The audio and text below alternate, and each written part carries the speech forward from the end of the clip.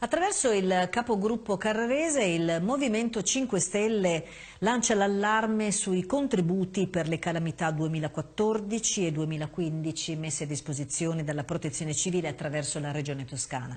Le risorse a disposizione sono il 3% dei danni accertati e non c'è certezza sulla copertura del finanziamento.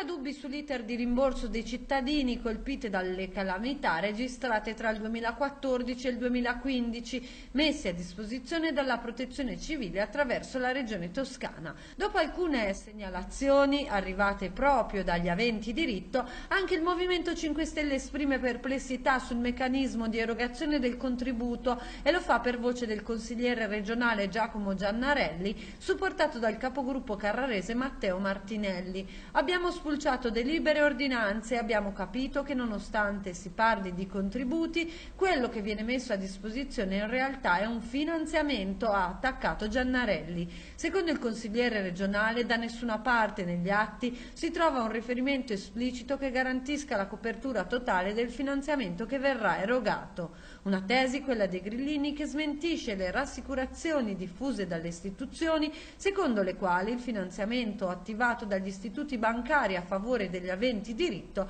sarà rimborsato dallo Stato.